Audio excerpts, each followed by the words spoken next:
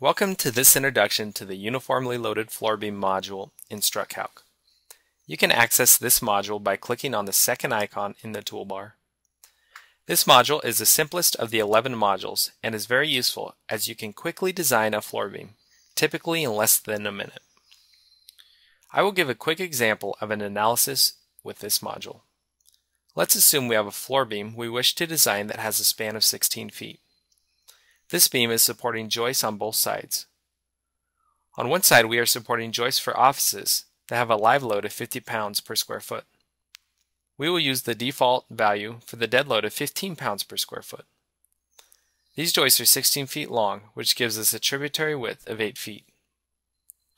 On the other side of the beam, we have joists which support a corridor loading, which is typically 100 pounds per square foot.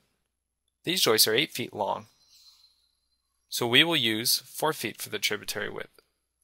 There is a wall and bearing directly over the beam that is 9 feet tall with an assumed dead load of 10 pounds per square foot. This gives us a hand calculated value of 90 pounds per lineal foot of load on the beam.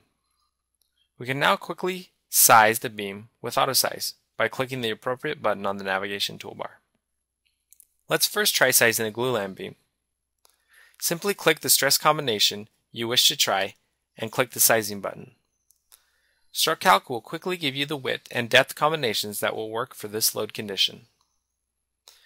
You can also check to see if a structural composite beam will work by choosing this option in the drop-down box. StruCalc will give the lamination and depth combinations that will be adequate. You can also compare options with steel beams. Highlight the range of depths you wish to try and AutoSize will list the lightest steel section that will work for those load conditions.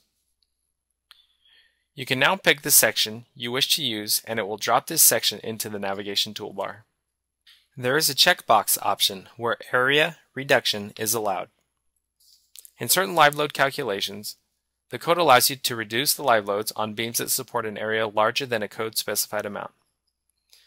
You are now ready to either print the analysis, or save for use at a later time.